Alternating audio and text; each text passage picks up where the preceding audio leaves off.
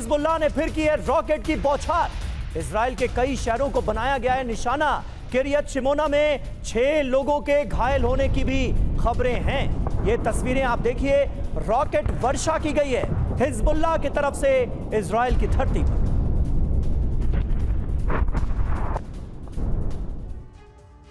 और देखिए war front से एक और बड़ी खबर, दक्षिणी लेबनान से खबर है, जहाँ पर इसराइल डिफेंस फोर्स ने ताबड़तोड़ हमलों को अंजाम दिया आईडीएफ ने। एक के बाद एक ड्रोन अटैक किया है। हमले में हिजबुल्ला के कई लड़ाके ढेर हो गए। तस्वीरें जरा आप देखिए। दक्षिणी लेबनान, जहाँ पर सबसे ज़्यादा हमलों को अंजाम दिया जा रहा है और यहाँ पर हिजबुल्ला का गढ़ भी है। एक के बाद एक कई ठिकानों पर ड्रोन से कैसे हमला किया गया, तस्वीरें आप देख पा रहे हैं।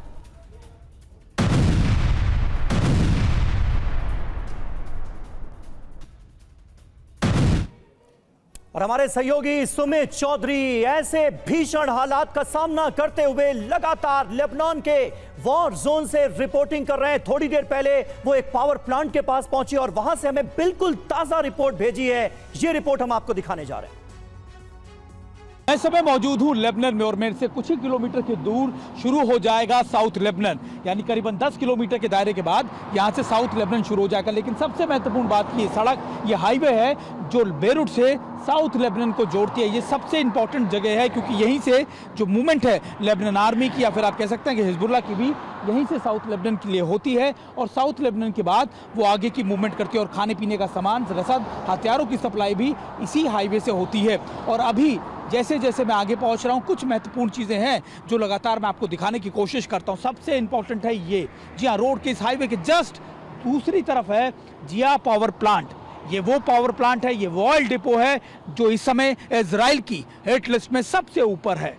वजह है क्योंकि हिजबुल्ला भी इसराइल के पावर प्लांट्स को, उसके इक्विपमेंट डिपो को, उसके कमांड एंड कंट्रोल सेंटर को, उसके आर्मी के लोकेशंस को टारगेट कर रहा है। और ऐसे में अब इसराइल की तरफ़ से भी चेताया गया कि अगर आपके हमले नहीं रुके, अगर हिजबुल्ला ने हमले नहीं रोके तो फिर हम भी सिविलियन एरिया को टारगेट करेंगे, हम भी आपके पावर प्लांट्स को टारगेट करेंगे। और उसमें सबसे बड़ा प्राइम टारगेट या फिर प्राइम टारगेट जो है, वो लिस्ट में है ये जिया पावर प्लांट कहते हैं कि वन थर्ड से ज़्यादा जो इलेक्ट्रिसिटी है, या जो लेबनन को वो यहीं से आती है। पूरे साउथ लेबनन को जो सप्लाई है, वो यहीं से दी जाती है। और ख़ास बात यह कि ये पावर प्लांट होने के साथ साथ ये ऑयल डिपो भी है। 2006 में भी इसराइल ने यहीं पर टारगेट किया था। और अभी, क्योंकि कहा यह जा रहा है कि अगर पावर प्लांट टारगेट हो गए तो फिर एक ही सोर्स बचेगा इलेक्ट्रिसिटी का, या फिर वहाँ के लोगों को रोकने के लिए, सामान के लिए, वो होगा जनरेटर को ऑपरेट करना। और जनरेटर को ऑपरेट ऑपरेट करने के लिए भी ऑयल की ज़रूरत पड़ेगी और ऑयल की मूवमेंट इसी हाईवे से, इन्हीं टैंकरों की मदद से, इसी ऑयल डिपो की मदद से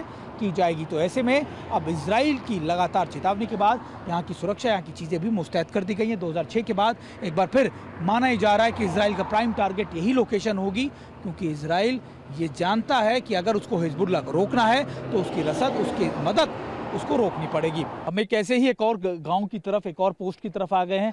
आप ये देखें कि एक बार फिर आपको तबाही के मंजर ऐसे नज़र आएँगे। और इसराइल ने अपने कई मिसाइलों का का इस्तेमाल करते हुए इसको टारगेट किया है, आप देखें। और कहा यह जा रहा है कि ये अभी पिछले दो दिनों में हुई तबाही के मंजर है। आप देखिए, गाड़ियों को, घरों को किस तरीके से टारगेट किया। पूरे के पूरे घर इस तरीके के बर्बाद हो चुके हैं, तबाह हो चुके हैं। चारों तरफ़ आपको इस तरीके के अटैक नज़र आएँगे। और देखिए, लगातार रह रहकर यहाँ पर एक बार फिर इसराइल टारगेट करता है रात को, इनको अटैक करता है। और ये अगर आप देखें तो ये घर और ये ये जो जगह हैं, सब खाली करा गए ये एक दुकान थी, एक एक, आप कह सकते हैं कि एक ग्रोसरी शॉप था या फिर खाने पीने का सामान जहाँ मिलता था, उसको किस तरीके से क्षति पहुँचे पूरा बर्बाद हो चुका है। इस अटैक के अंदर पूरी, आप देख सकते हैं, तबाही किस तरीके की है। सब चीज़ें यहाँ पर तबाह हो चुकी हैं, जो परिवार यहाँ रहते थे, जो लोग यहाँ रहते थे, वो यहाँ से जा चुके हैं और यहाँ पर इस इलाके में सिर्फ़ और सिर्फ़ हिजबुल्ला है। हिजबुल्ला के कमांडर्स उसके उसके सोल्जर्स या उसके लड़ाके इस समय यहाँ मौजूद हैं। इसके अलावा सारे लोग यहाँ से जा चुके हैं और देखिए, ये हर तरफ़ आपको नज़र आएगा। सामने मेरे कैमरा पर्सन आप तो दिखा रहे हो, हर तरफ़ आपको सिर्फ़ और सिर्फ़ ऐसे ही घर नज़र आ जाएँगे, देखने को मिलेंगे और आप समझ सकते हैं कि इस समय यहाँ के ताज़ा हालात किस तरीके के हैं। तो सुमित चौधरी की आपने लेबनान से ये रिपोर्ट देखी। एम्बेसडर सिंगल हमारे साथ मौजूद हैं। सिंगल साहब, जरा हमारे दर्शकों को यह भी समझाइए कि लेबनान के अंदर, जहाँ लेबनान की एक सरकार है, दूसरी तरफ़ हिजबुल्ला जो कि ईरान का प्रॉक्सी माना जाता है, एक नॉन स्टेट एक्टर है, उसकी इतनी ज़बरदस्त मौजूदगी, जो कि एक तरह से अपनी पैरल समानांतर सरकार चला रहा है। सरकार और हिजबुल्ला के बीच आपस का जो कोऑर्डिनेशन होता है वो कैसे होता है और क्या सारे मुद्दों पर ये दोनों एक मत होते हैं?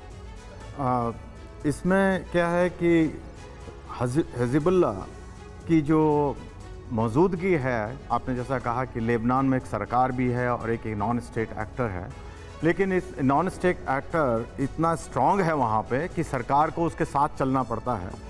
और ये ज़रूरी नहीं है कि हर मुद्दे पे उनकी, दोनों की जो है एक एक मत हों।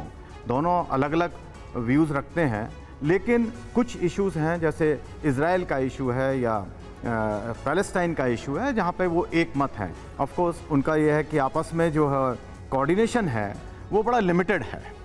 और, लेकिन दुनिया को दिखाने के लिए, जैसा कि कल आपने देखा हो कि जो है, जब इस पर अटैक हुआ हमने कहा कि इनका जो मेन जो एक्टर था हमास का उसको मार दिया गया है। तो लेबनान के का भी उस पर बयान आया कि हम उसमें इसराइल से बदला लेंगे। हम्म। तो लेबनान की सरकार हमास के खिलाफ पब्लिकली नहीं जा सकती है क्योंकि वो बहुत स्ट्रांग है। लेकिन इसमें साथ साथ लेबनान की सरकार ये भी नहीं चाहती कि इसराइल की फोर्सेस वहाँ पर आए। तो अभी तक जो है ये थोड़ा थोड़ा चल रहा था कि हजीबुल हजीबुल्ला थोड़ा अटैक करता था इसराइल अटैक करता था लेकिन पिछले कुछ दिनों से देखने में आया कि ताबड़तोड़ अटैक हो रहे हैं एक दूसरे के ऊपर जो कि बहुत अच्छा आ, संकेत नहीं है लेकिन जो इससे लगता है कि हजीबुल्ला लेबनान की सरकार को भी इसमें इस हम इसमें शामिल करना चाहते हैं और उन्होंने बिल्कुल सुशील सर और देखिए हमने दो दिन पहले देखा भी था कि लेबनान के विदेश मंत्री की तरफ़ से कहा गया था कि ये लिमिटेड नहीं रहेगा हिजबुल्ला था बल्कि लेबनान भी कड़ा एक्शन लेगा इसराइल के खिलाफ।